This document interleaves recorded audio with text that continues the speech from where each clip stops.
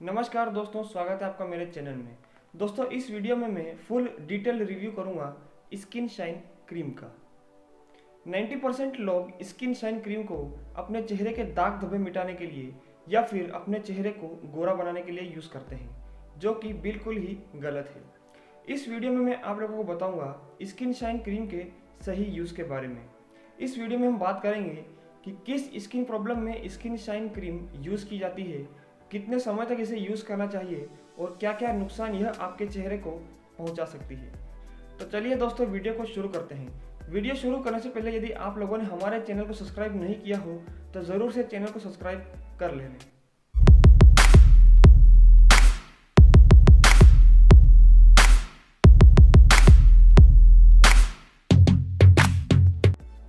सबसे पहले हम बात करते हैं स्किन शाइन क्रीम के कंपोनेंट्स के बारे में।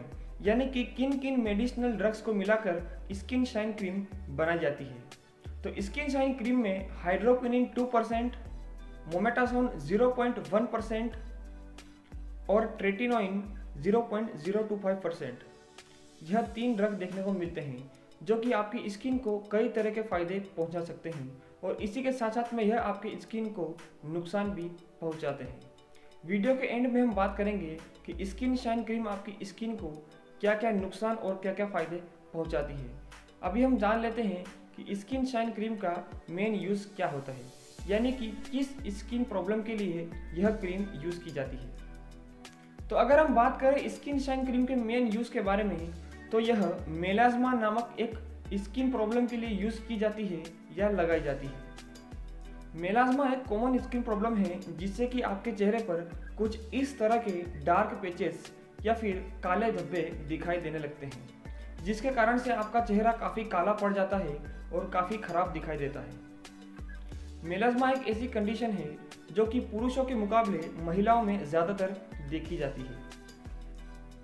मेलाजमा में स्किन शाइन क्रीम इसलिए यूज़ की जाती है क्योंकि स्किन शाइन क्रीम मेलाजमा के कारण होने वाले डार्क पेचेस यानी कि धब्बों को कम करती है और इसी के साथ में यह मेलाजमा के दौरान होने वाली प्रॉब्लम्स जैसे रेडनेस खुजली और दर्द आदि से भी आपको राहत देती है।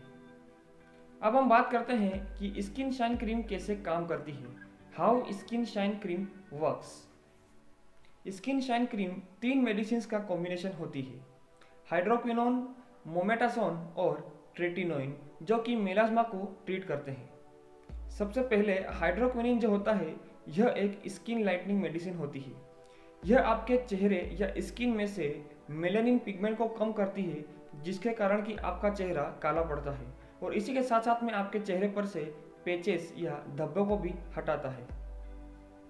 मोमेटासोन जो होता है, यह एक स्टेरॉइड होता है। यह ऐसे केमिकल मैसेंजर्स के प्रोडक्शन को ब्लॉक करता है, जिसकी वजह से आपकी स्किन पर रेडनेस खुजली, सूजन या फिर रेडनेस जैसी प्रॉब्लम्स हो सकती है। ट्रेटिनोइन जो होता है, यह विटामिन ए का एक फॉर्म होता है, जो कि आपकी स्किन को फिर से रीन्यू यानी कि नेचुरल या फिर पहले जैसी होने में मदद करता है। अब हम बात करते हैं how to use skin shine cream यानी कि स्किन शाइन क्रीम को कैसे यूज़ करें। तो सबसे पहले आपको अफेक्टेड एरिया को अच्छे से धो लेना है और उसके बाद एक टॉवेल से उसे सुखा देना है। अब आपको अफेक्टेड एरिया पर क्रीम लगाना है। क्रीम लगाने के बाद आपको हमेशा अपने हाथों को साबुन से धोना चाहिए। और क्रीम आपको प्रिस्क्राइब किए गए टाइम तक ही लगाना चाहिए। इसे आपको एक्स्ट्रा या फिर लंबे समय तक नहीं लगाना चाहिए। तो अब हम बात करते हैं कि स्किन शाइन क्रीम आपको क्या क्या साइड इफ़ेक्ट्स दे सकती है।